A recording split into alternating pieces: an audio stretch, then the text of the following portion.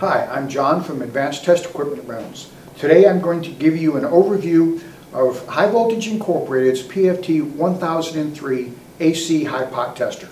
The high voltage PFT 1003 CM is shipped with the control cable and the power cable that are attached, the load return cable, two 20-foot ground cables,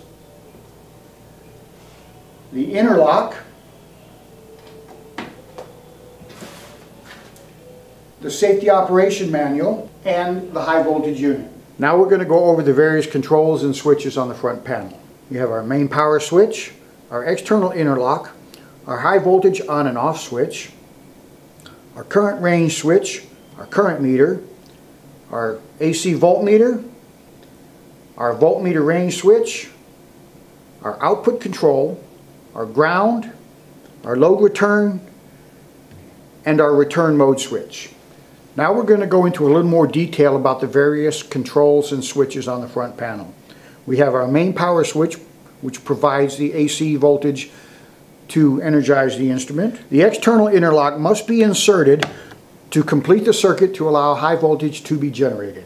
When we energize the unit, the green LED is lit.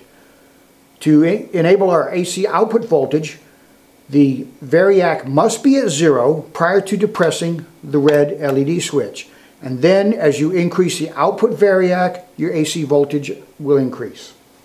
The AC analog voltmeter and range switch allow us to accurately set the output voltage.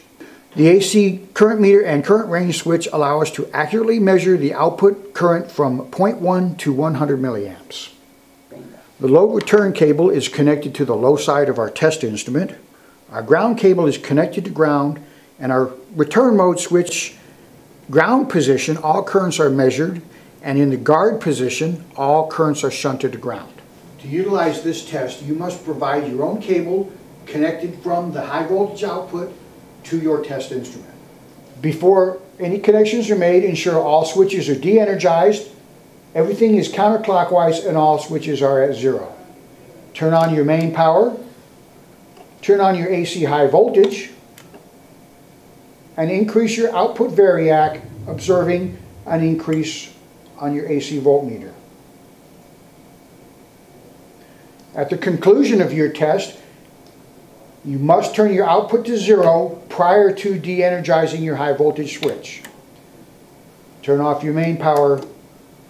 This concludes the procedure for the safe setup and operation of High Voltage Incorporated PFT 1003CM AC Hipot Tester.